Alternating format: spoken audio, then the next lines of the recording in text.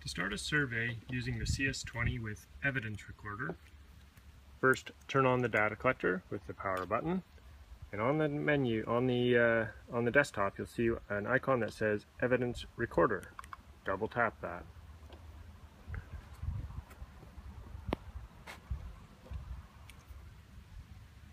Start a new scene or open a, an existing one. I'll put in the name test 2. You can review the units and settings.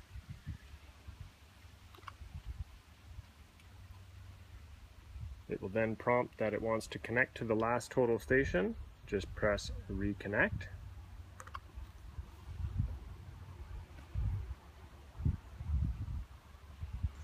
When it's paired, it'll display that the instrument has been leveled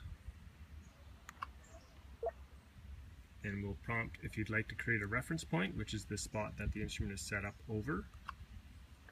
It'll give it a default coordinate, a description of reference point RP, and then coordinates, which you can set to 000 if you prefer. Ask if you would like to occupy the reference point. This means setting up the total station over this new point that we just created. And that's yes. Here we are. We can set the instrument height at zero if we like to just reference everything to, to the center of the instrument, or you can measure up uh, to the dot on the side of the instrument and put that in. We're going to establish a backsight direction of roughly north, zero. This is just a reference. Observing the backsight. Tells you right here what we're doing.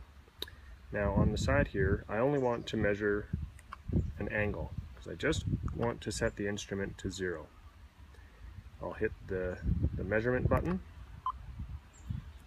then displays what it's about to do, that it's going to set the instrument to zero. And now we're ready to take a measurement. To have the, the instrument come and locate us, the search icon at the top right is tapped and starts a power search. The instrument then turns, locates the prism, during this process, don't move. And once it's locked, the top symbol will turn into a lock. I can then take a measurement. It says map a new point or map point. Hit the measurement button.